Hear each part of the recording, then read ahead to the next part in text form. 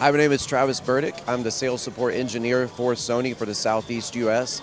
We're out here today at InfoComm 2023, and behind me we have the CH series of Crystal LED. This is a 1.2 millimeter pixel pitch. It's uh, maxing out at 1300 nits. This is the 4K version, so you're looking at 220 inch diagonal here. What we've created is an immersive experience. We have lots of content, lots of very colorful, vibrant content mixed with our SLS 1A sound system here. On the left, you'll see the line array speaker, the powered line array speaker we have set up, bringing the audio back to AV. This is some kind of combination you could have in a corporate lobby, a museum, higher ed. Um, kind of the your choice, your creative choice with this is your creative choice. There's lots of applications. It's good to note that this screen is scalable, so you can go as big as you like.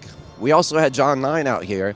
He developed some AI art that he made specifically for this screen. And right now behind me, you can see the Gran Turismo content. Anyway, if you want to learn more about this setup, what other immersive environments you can create with Crystal LED, please look at pro.sony.com. Thank you.